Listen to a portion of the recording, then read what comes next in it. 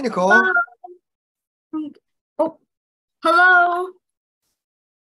Hello again. Hi. So I'm going to share my screen. I also have two other people with me. Yes, they're they're coming. Okay, thank you. Right, Here they come. Yes. And if they turn on their cameras, we'll be able to see them. Ah, there's one.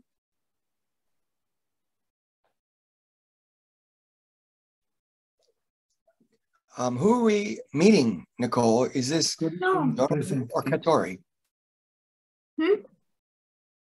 Could you ask your friends to introduce themselves?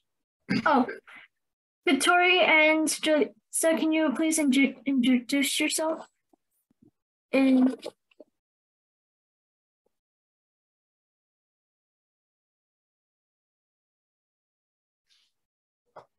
Hi, good afternoon. So it's 4:15 uh in the afternoon here, Saturday. And uh, I am Miss Julissa. We're teaming up with uh, Nicole for this project. And I have here my student, Katori. So she's a fifth grader. Katori, could you unmute yourself? There you go. Hello, I'm Katori, and I'm in the fifth grade. So today we're talking about something that's really important to me personally, sustainable food production. And I can't wait Yeah. to hear what the three of you are going to talk mm-hmm. about. So I'm going to mute myself and listen very carefully. so, hello everyone. As I said, I am Nicole Haragutchi, and I'll be talking about the sustainable food production.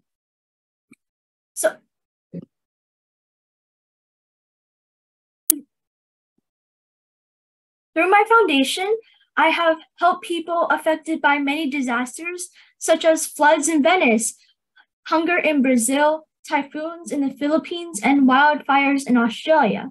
So I wanted to think of something to help solve and benefit these communities by these situations.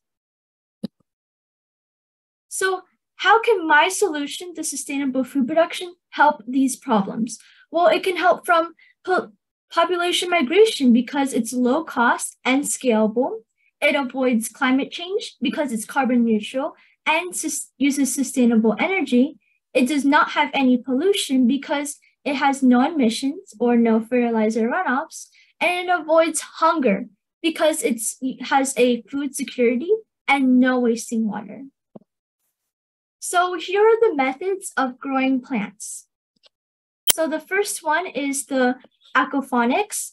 How it works that whenever the fish makes feces, known as poop, it goes through a tube all the way to the plants. And the feces from the fish is actually nutrients for the plants to help it grow. And the plants filters the water and brings clean water back into the tank. It's all uh, powered by a solar generator and a solar panel. So for bigger plants like tomatoes or broccoli, as you can see here, you can use the hydroponics. So how this one works is that it has two buckets, one having fertilizer mixed with water and one having the plant. This does not make any fertilizer runoffs because the fertilizer goes in a tube into a cycle to the plant. And this is also using a solar panel to power. So for smaller plants, you can use microgreens in sprouting. It's um, it's when you can you can eat it when it's a youngling, and the plants I use for this is radish and mung bean sprout. So how can all these uh, prototypes complement? Well, for this is for smaller plants, you can use sprouting and microgreens.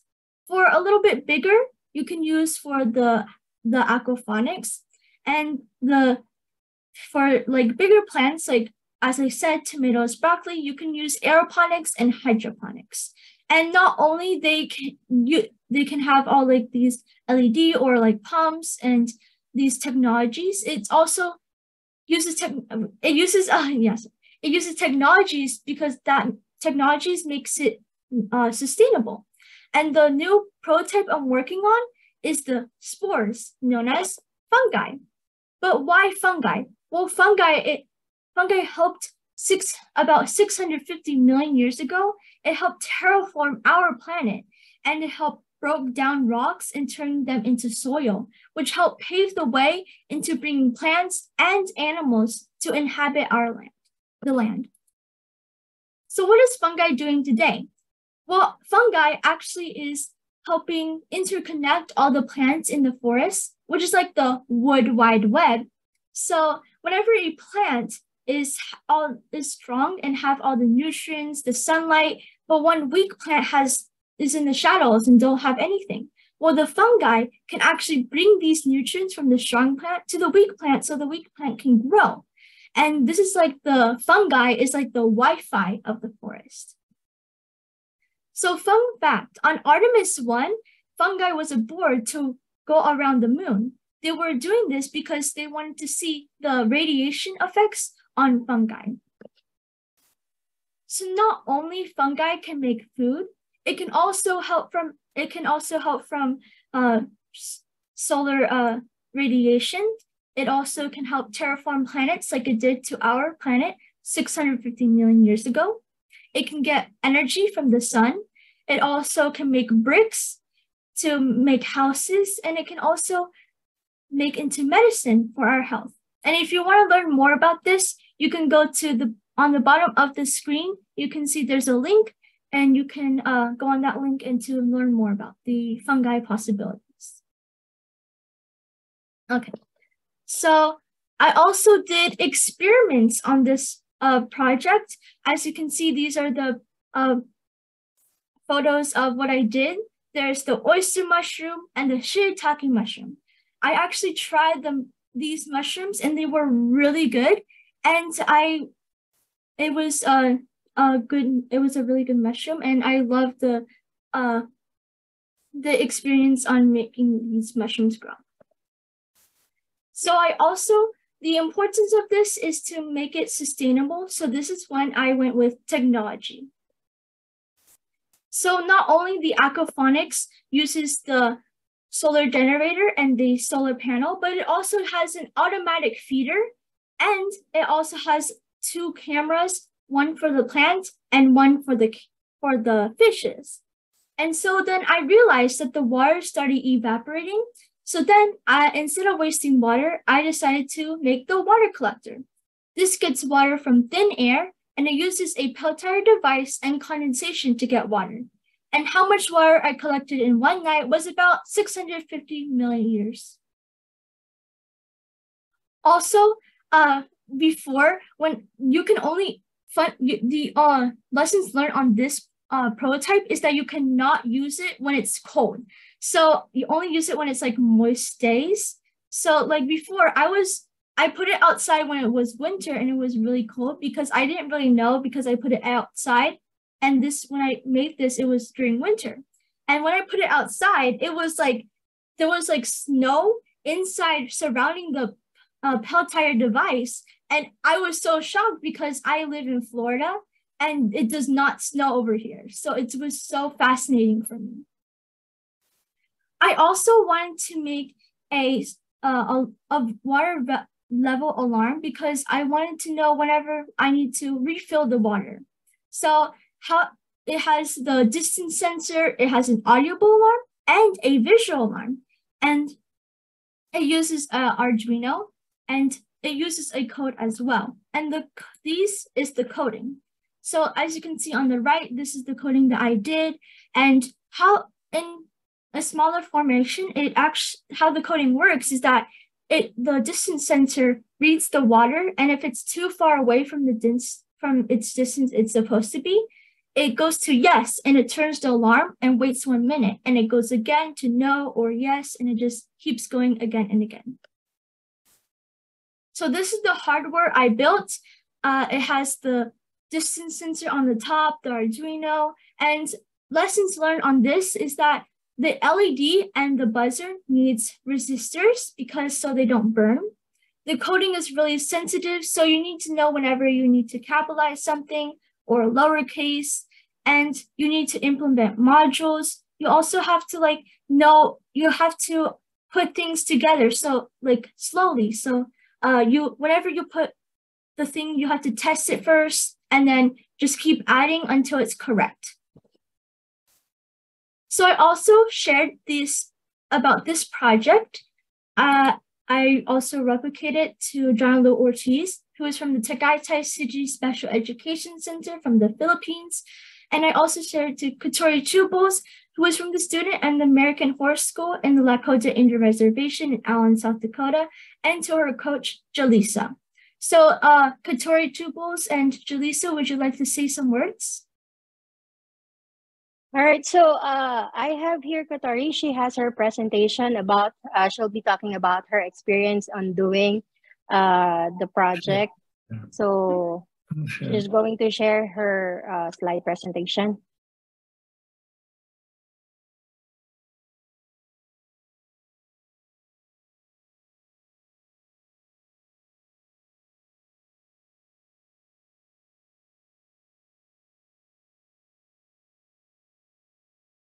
You're muted. Ah. Please unmute yourself so we can hear you.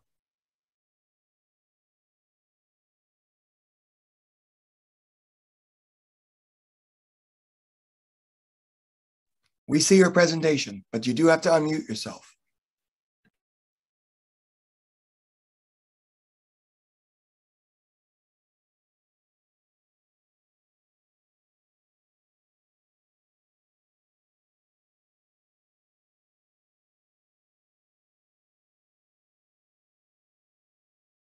Katori, uh, can, are you able to unmute? Ah, here comes help. Oh, okay.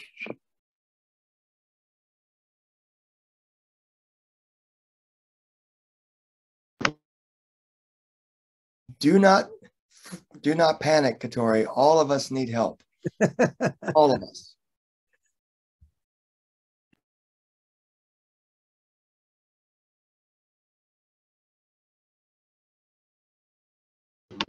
Ah, perfect, perfect. Okay, now Start now. Hello, I'm Katori, and, and I attend American Horse School on in Allen, South Dakota on the Oglala Sioux Tribe Reservation. I'm very excited to share my experiences while doing this project. This is me putting, this is me setting up the fish tank. I made sure it wasn't too crowded so the fish can freely swim along. This is when I finished setting up the tank. As you can tell in this picture, I was very excited.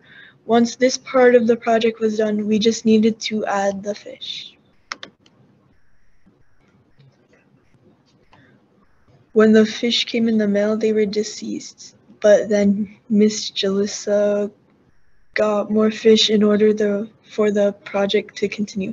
After that, we fed and took care of the fish, and then we finally received the plant bed to finish setting up the aquaponic system. The fish are doing well and healthy. I make sure that the fish's tank stays clean and well kept. You can kind of see the plant bed in the pump.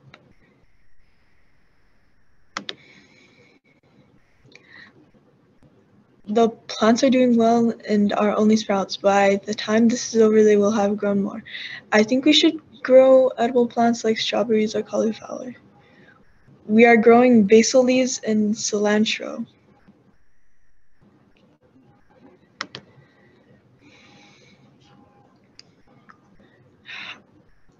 When the fish produces feces, the fish's waste goes into a pump that leads into the plant bed. The plants then absorb the nutrients nutrients from the waste, and then the water turn the water.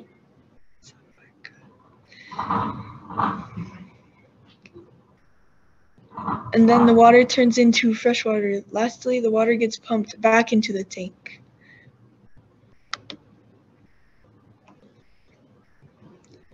In South Dakota, winters are long and harsh. The uh, advantages of aquaponics is the ability to grow plants indoor.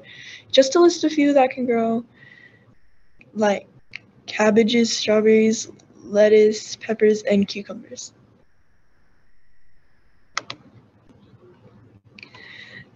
this was the weather yesterday. I'm so glad we are trying to do something useful and productive. As you can see in this picture, you would not be able to grow plants in this environment. It would be way too cold. While with aquaponics, you could grow plants any at any time and anywhere.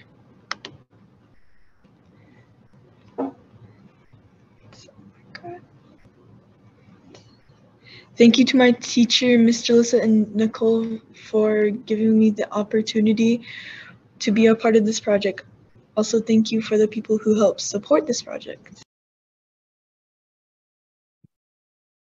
Okay, thank you. s- Oh, thank you so much, Jalisa, Jalisa and uh, Pittori Two Bulls. I would. I'm gonna share my screen again. Uh, go back. Okay. So I also have negotiations with uh, Southern and and Amazon region of Brazil. And also, is there anyone from the Tagaytay City School that also want to share? Or are they there? Okay. If they're not here, I'll continue. I also uh, shared during in conferences, I shared this project and as you can see, these are the conferences I uh, participated in- in. I also want to share through an app. Well, why an app? Well, I will. I want to not only go through Zoom and talk about it, but also you can just download something and uh, you can just download an app and learn more about this project. I also it also has food security because you can grow your own food, and also it leads to a healthier life because you'll because you're growing like vegetables and fruits and also it's sustainable because you're using growing methods using technology. So the platform that I used was the MIT App Inventor. How it works is MIT App Inventor, it's very simple and you it's all object oriented because it's all labeled and you can just drag something and drop it into the uh, coding and it syncs with the smartphone. So if you can see on the right, there's a smartphone right there, and it will show what it will actually look like on the smartphone as an app. So this is uh, the, the the coding of it. It's just like Legos because when you put like a coding there, you can just add something and it will go to another screen, or you can uh, uh, like go to another app, and it's super cool. And the app that it and this is the app that I created. It has the introduction talking about the about the the project and also you can just tap on one of the buttons on the bottom and it will show the methods or the technologies about the the sustainable food production. So I also want to share a video. Okay.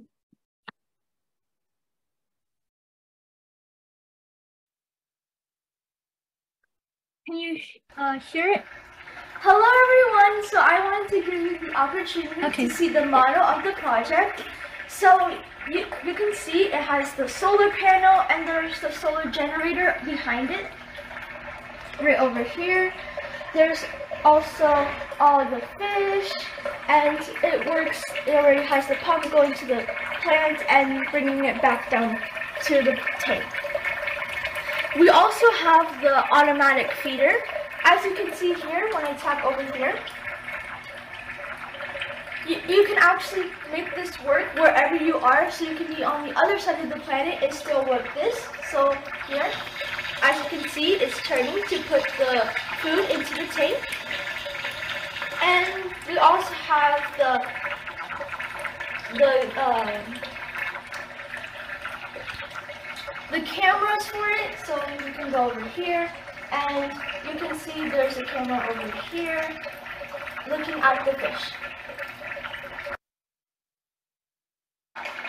So I also wanted to talk about the water level alarm. So it uses a Arduino to control. So as you can see, there's all it connects here and over here, and it uses there's also it uses a Chromebook to with the code, as I said. And this is the the alarm. It has the audible alarm and the visual alarm. So as you can see, if it goes too far, it can go alarm, as you can see. And if you want to put it over here in the water, it can also work on water as well. So as you can see, it stopped. Well, if it goes, the water level is too low, it can turn an alarm. So that's how the water level works. Come everyone, and I to show you some additional information. So this is actually the poster talking about all the things. I don't want to repeat anything because I already told you, but here it is and talking about how it works. I also have a brochure talking about my project, the sustainable food production, and it's right here. We also have the water collector right here.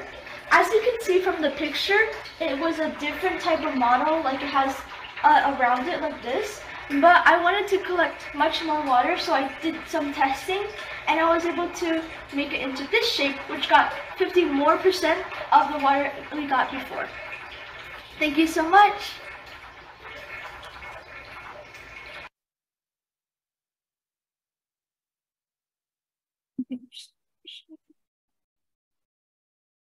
So that was the video and thank you so much. And if you want to ask any questions, you can ask now.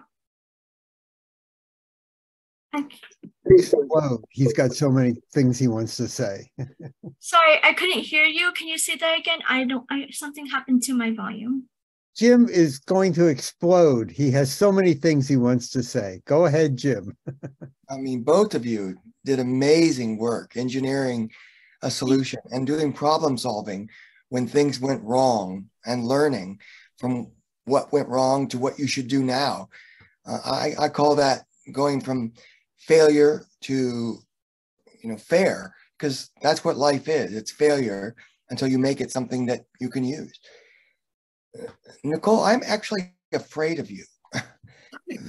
That Pel- that peltier device i would love just a video on that was that collecting water on the interior volume Yeah. Uh yes, because like you, you know about condensation, so it makes it like really cold. So like on the moist in the air goes collected on there and then just drips down into the pan, and that's when we collect the water and puts in the tank. So your design is the opposite of mine. Mine is hot inside and it attracts water to the outside. Yours is cold and oh, fascinating. Interesting that we came to the same conclusion from two different directions. Hmm. Also, I've had zero success with aquaponics because I can't, Katoria, you need to know, I can't keep fish alive either when they're in an artificial system like that. But I, I did take a screenshot, Nicole, of your code and that fabulous Arduino water sensor. Mhm. I'm totally stealing that. I'm just telling you. That's a great solution set. Yeah, Was that Scratch? Scratch Mhm. code? Was that Scratch code you were writing in? Yeah, I actually used that uh that uh um that website there. Uh it was like I tried learning it through YouTube and I keep trying and trying even though the code didn't work, but I I even though sometimes I have to like, you know, capitalize and I just keep trying and trying until I got it correct. So, and as you can, as you said, like when the fish died. So one time I had like three fishes. So I at the start so I can like test the project. It was going really well until uh, I wanted because this is when I didn't have the uh, water collector. So I just put fresh water into the from the tab, the tap, and just put tap water into the tank, and then they all died the next day. Chlorine. Yeah, same problem. That's one of the things that my evaporator does. We could have a show all our own, you and I. I mean, I could just chat with all three of you, you, Katori, and me, for an hour about what you guys want to do to change the world. We, we, we have another gift in July. It's, we can set that up. And Nicole, uh, Katori, would you be interested in partnering with me?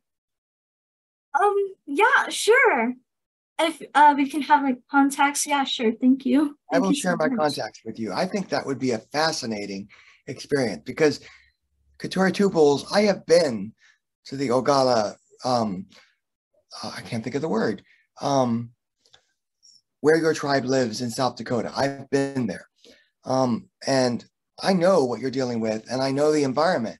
And it is very dry there and, and it's a long drive. Anywhere you go in South Dakota is a long drive. So I, I get that. I'm fascinated by how all three of us are coming up with different solutions to the same problem with completely different frames of mind. And I would love to talk to kids around the world about that because that's really important to recognize and to embrace. We all need to know why we think differently, how we think differently, and what we do to think together when we think differently. I would be very interested in it. I'm taking all the time. I apologize. Katori, I have a question though. Uh, you talked about growing things in the, in the winter. How do you keep them warm?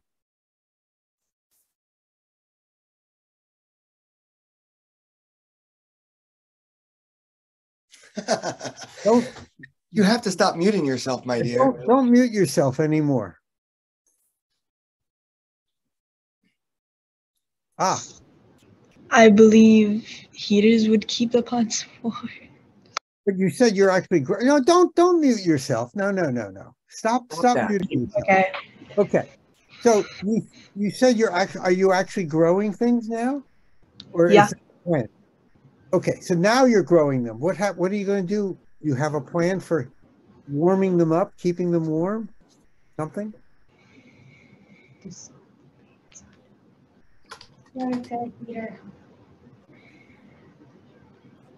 You know, you could if you want to keep them warm, you could take them to bed with you. sleep, sleep with the cucumbers. No, I'm serious. The plants would be very happy.